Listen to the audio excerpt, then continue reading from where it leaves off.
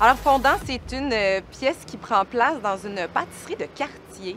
Euh, un jour de, de grosse tempête de neige qui va donc euh, forcer un huis clos à ce- dans ce lieu où le souci du détail hein, en, en boutique est important, mais où la cuisine, l'arrière-cuisine est, est mouvementée et chaotique, un peu comme, comme nous les humains. Et, et donc, on va assister à la rencontre, la discussion, l'échange entre un homme, un client et la jeune employée.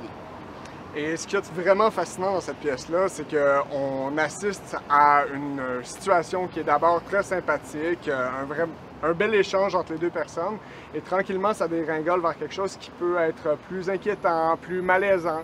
Et après ça, c'est de voir comment cette situation-là a pu basculer de cette façon-là. Euh, une situation que beaucoup de femmes vivent euh, dans, la vie de tous les jours et qui va être euh, portée sur scène. Alors, venez nous voir.